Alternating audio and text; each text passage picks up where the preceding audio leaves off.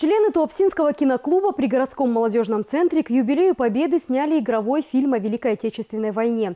Премьера состоялась 3 апреля. Автор сценария – участник киноклуба Георгий Баладьян. Его идею поддержал руководитель клуба режиссер Алексей Кучма. В съемках были задействованы школьники, студенты, а также туапсинец, ветеран войны Илья Семенович Корчагин. Создателями фильма встретилась Лиана Коблева.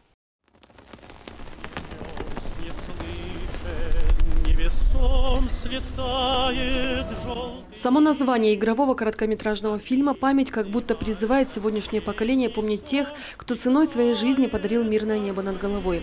В основе ленты воспоминания фронтовика о былых сражениях. Эту роль играет участник Великой Отечественной ветеран Илья Семенович Корчагин. Он прошел войну от первого и до последнего дня. Участвовал в Сталинградской битве. Ветеран видит молодежь, вспоминает себя, и в финале фильма эта же молодежь и ветеран встречаются вместе непосредственно в кадре, есть некая связь между ними. Это часы, которые играют везде, это его часы якобы. Эти часы он в конце концов передает еще своему внуку. Внук это тоже реальный внук этого ветерана. То есть все как бы на самом деле связано действительно как поколение. То есть мы даже ничего не придумываем. Это практически все из жизни. Ну, за исключением самого, так скажем, замысла общего. Это, это Илья, восьмерка.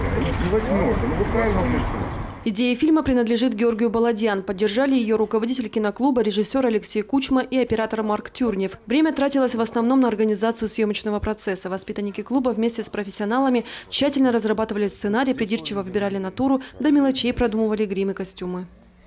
Глубоко уважаю тех людей, что в годы Великой Отечественной войны а, фактически дали возможность мне и всем нам жить. Я им благодарен очень сильно.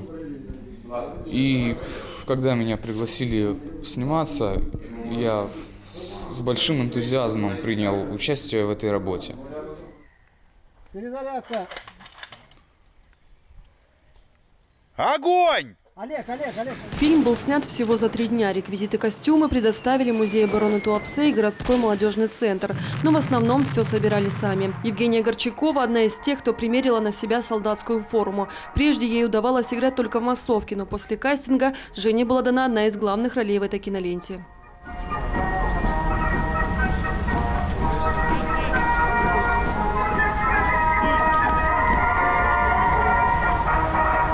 Сюжету это девушка главного героя, которая провожает его на войну.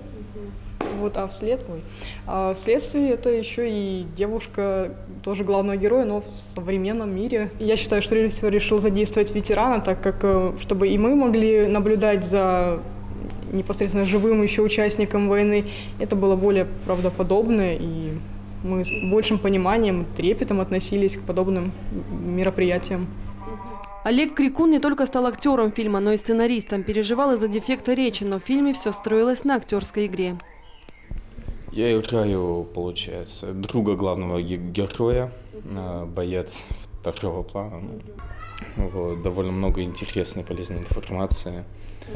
Э, ну, увидел, как бы, что снять кино это не так уж и легко это труд. И когда мы начали непосредственно съемки, они каким-то образом очень здорово настроились. То есть, ну, так еще где-то где в глубине была такая идея, чтобы фильм был практически без реплик, без диалогов, то есть у них нет текста. И вот это вот, наверное, получилось, ну, на самом деле, самое лучшее в этом фильме – это как раз-таки игра актеров.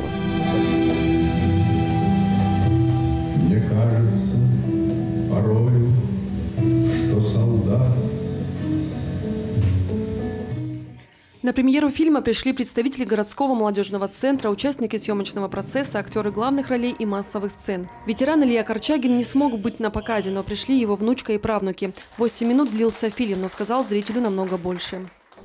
Мне очень понравилось кино. Мне очень нравится, мне очень нравилось в нем сниматься.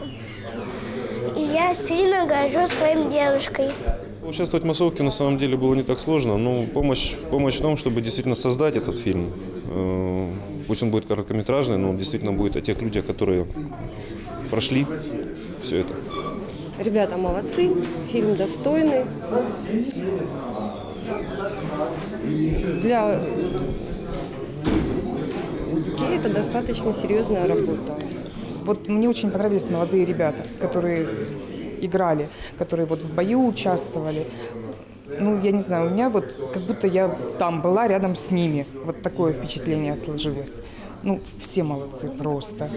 Здесь э, это не мое кино, это кино детское. Здесь все пляшет от них, это для них, чтобы они посмотрели, чтобы им еще дальше хотелось еще больше таких же серьезных работ. То есть ну, я не, ну, во всяком случае, не стыдно.